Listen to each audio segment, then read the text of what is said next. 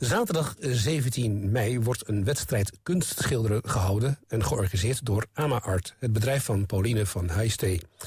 Het thema is Mestiza en wordt gehouden in het pand aan de gelijknamige cateringbedrijf, gevestigd in de voormalige pastorie van Halfweg. Pauline is in de studio. Goedenavond, Pauline. Goedenavond. En welkom.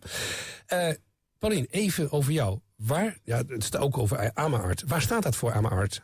Um, nou, de naam Ama Art staat eigenlijk voor Amazing Art.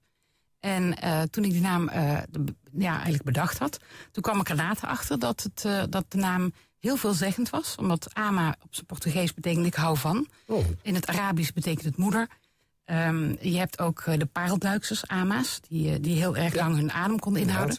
Dus uiteindelijk, naarmate ik de naam begon te gebruiken, kwam ik er eigenlijk steeds verder achter wat, wat ja, dat, dat het nog veel meer betekenis had. En dat maakt het natuurlijk superleuk, want het hoort bij kunst.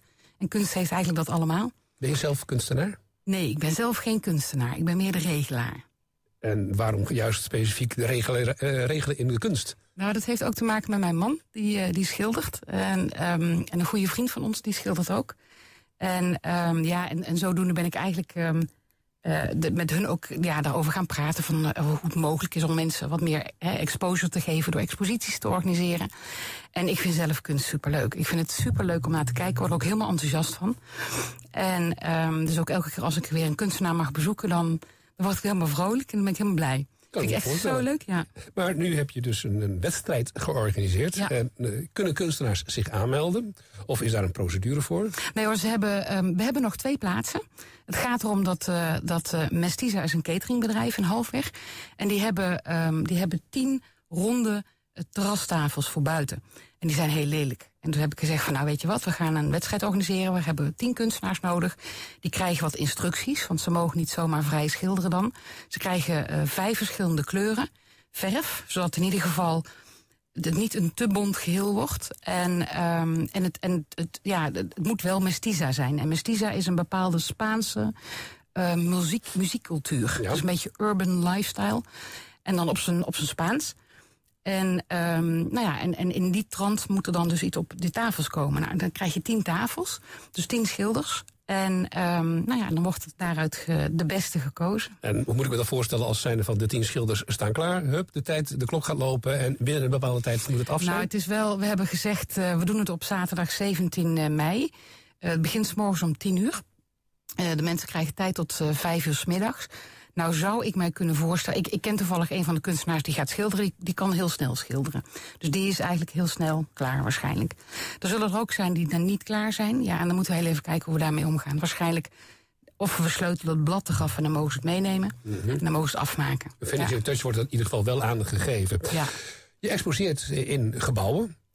Uh, hoe kom je eigenlijk aan de belangstellenden om, om daar jouw werken, of tenminste de werken die je uitnodigt, uh, op te hangen en tentoon te stellen? Nou, het heeft ook te maken, ik ben um, naast dat ik AMA Art heb, heb ik, uh, ben ik ook organisator van de Op de Koffie bij de burgemeester hier in de Haarlemmermeer. Dat is een netwerk voor ondernemers.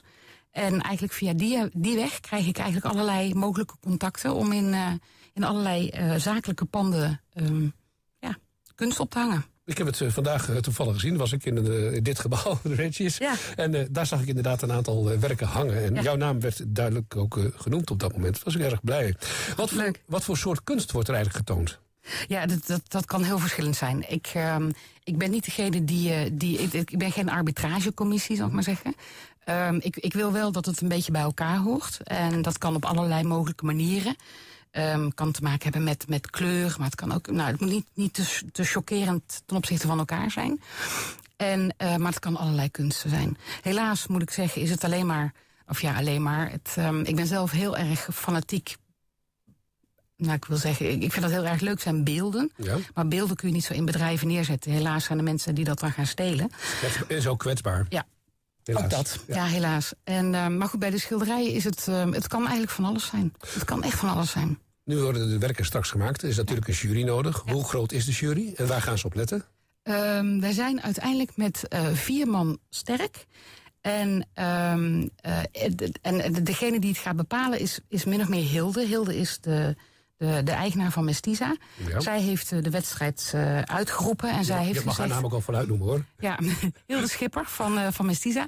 Zij heeft de wedstrijd uitgeroepen en zij gaat ook uiteindelijk eh, de prijs uitreiken. Ehm, maar goed, we zijn met z'n vieren. We gaan gewoon kijken wie, wie het, nou ja, eigenlijk het beste, de urban, de urban Spaanse stijl, muziekstijl, lifestyle, het beste op, eh, op een klein tafeltje van 60 centimeter kan, eh, kan schilderen. Ik ben zeer benieuwd, maar bij een wedstrijd hoort een prijs. Ja. Welke prijs is er te Ja, winnen? dat gaan we nog niet zeggen. Ga je niet vermelden? Nee. Ja, maar ik wil het zo graag weten. Ja, Ja, nee, dat, helaas, helaas. Nee, dat, Maar- eh, dat zeggen we Nou, dan wil ik wel andere zaken. Zijn er nog andere plannen voor dit jaar?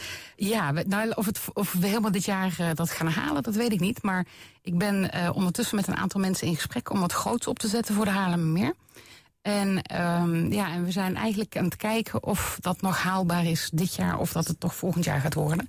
En dat wordt dan wat op grotere schaal. Dat heeft te maken met kunst, maar het heeft hem ook te maken met, met, met muziek en, en met eten en met, en met leuk, gezelligheid. Ehm, Het maakt de Haarlemmermeer wat warmer en kunstzinniger. ja. Wilt u eh, meer weten over de wedstrijd kunstschilderen of over Amaart? Ga dan naar de website amaart.nl of facebook.com slash amaart. Mag ik je hartelijk danken voor je aanwezigheid. Graag gedaan, dankjewel dat ik hier mocht zijn. Heel veel succes. Dank